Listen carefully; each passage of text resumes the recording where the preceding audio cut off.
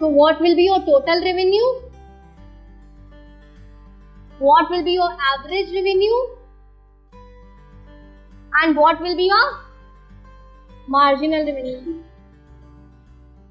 कैसे कैलकुलेट करोगे एग्ज़ाम में नहीं थे ना साइड में फॉर्मूला लिख के दिखा देना एवरेज रेवेन्यू कैसे निकालते हैं मार्जिनल रेवेन्यू कैसे निकालते हैं total revenue one into five that is five two into six that is twelve and three into seven that is twenty one average revenue जितना प्राइस हुआ उतना ही एवरेज रेवेन्यू भी होता है। तो फाइव सिक्स एंड सेवन और उसके बाद मार्जिनल रेवेन्यू शुरू किए थे फाइव से।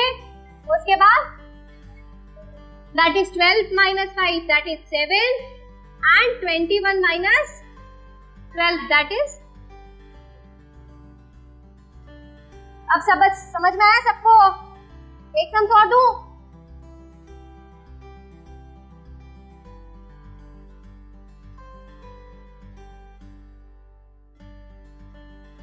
Done. Total revenue is 10 into 3, 30, 9 into 4, that is 36, and 8 into 5, 40. Average revenue will be 10, 9 and 8. जितना प्राइस उतना एवरेज रेवेन्यू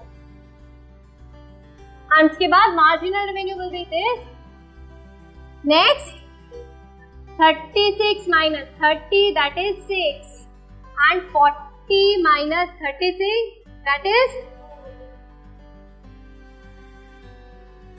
erase कर दू?